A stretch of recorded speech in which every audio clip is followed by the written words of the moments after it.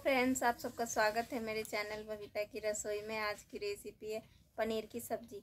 चलो फ्रेंड्स, बनाना स्टार्ट करते हैं। फ्रेंड्स, मैंने यहाँ पनीर को अच्छे से धोकर काट ली हूँ। आज हम इसका रेसिपी बनाएँगे। मैंने यहाँ कढ़ाई चढ़ा दिया है गर्म होने के लिए। कढ़ाई को हम गर्म होने देते हैं।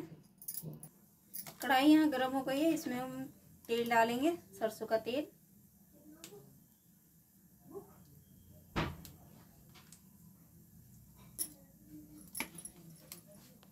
तेल यहाँ गरम हो गया अच्छे से। इसमें हम कटा हुआ पनीर डालेंगे।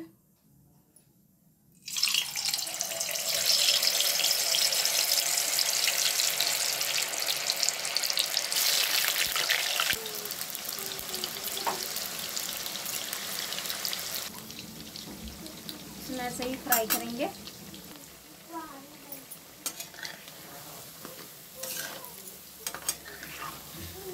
इसे मैंने अच्छे से फ्राई कर लिया है। इसे अब हम निकाल लेते हैं।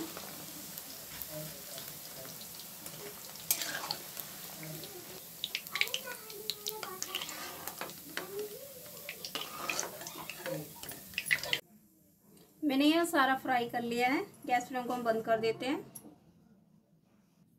मैंने यह चार टमाटर लिए हैं। टमाटर को मैंने पीस लिया है। यहाँ पे मैंने दो प्याज लिया है। प्याज को भी मैंने पीस लिया है। और यहाँ पे हरी मिर्च, लहसुन, अदरक सब इसमें मिक्स है। काली मिर्च, इसे भी मैंने सिलबट्टे पे पीस लिया है।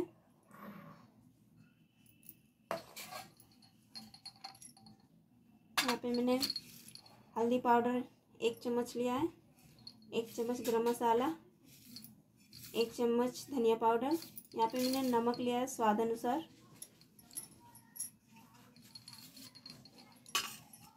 यहाँ पे मैंने तेज पत्ता लिया है चार, और बाकी के खड़ा मसाला है ये।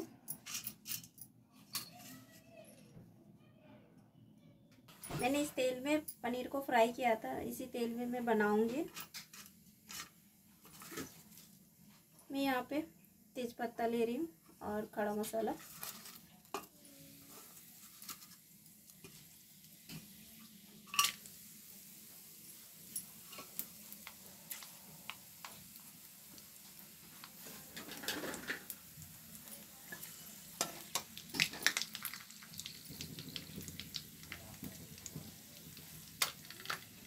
प्याज।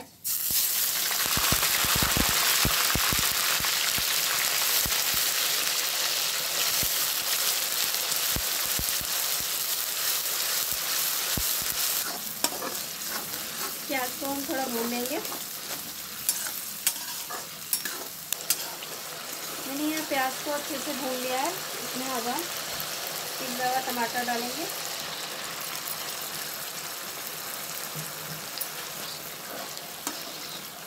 प्याज और टमाटर को हम अच्छे से भून लेंगे।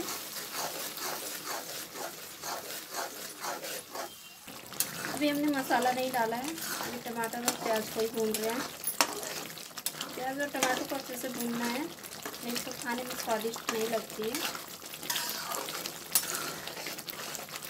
यहाँ पे मैंने अच्छे से भून लिया है टमाटर और प्याज को। यहाँ पे मैं किसी भी मसाला डालूँगी।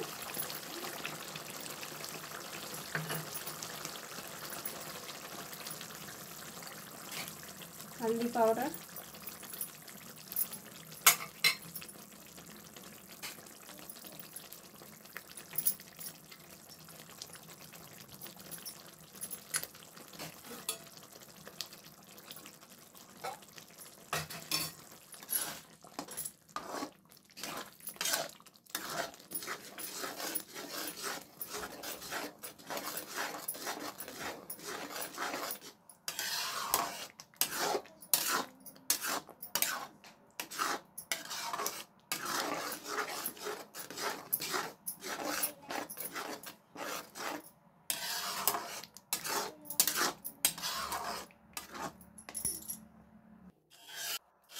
मसाले को अच्छे से भून लेंगे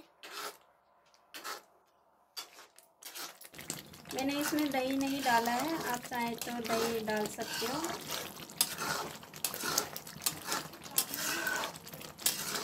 मैं बिना दही का बना रही हूँ। मैंने यहाँ मसाले को अच्छे से भून लिया है। ये आप देख सकते हैं। ऑयल बिल्कुल ऊपर आ गई है मसाले को छोड़ के। हम थोड़ा पानी डालेंगे ग्रेवी के लिए।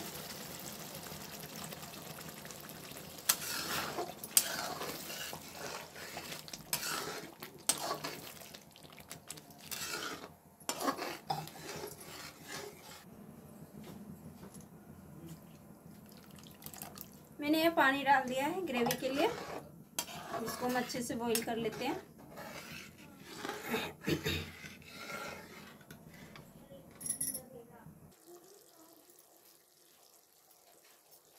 इसमें बॉईल आ गई है।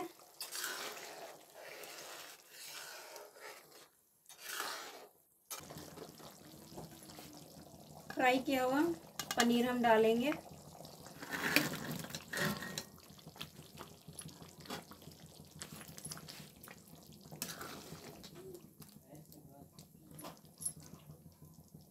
इसको हम अच्छे से बॉईल होने देते हैं।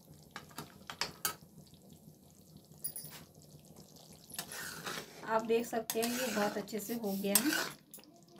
इसे थोड़ा और पकाएँगे हम।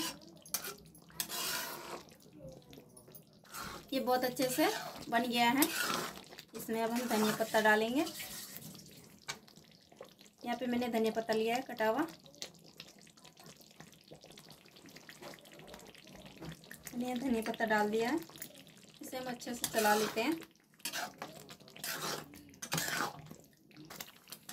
अब हम गैस फ्लेम को बंद कर देते हैं और सर्व करते हैं हम।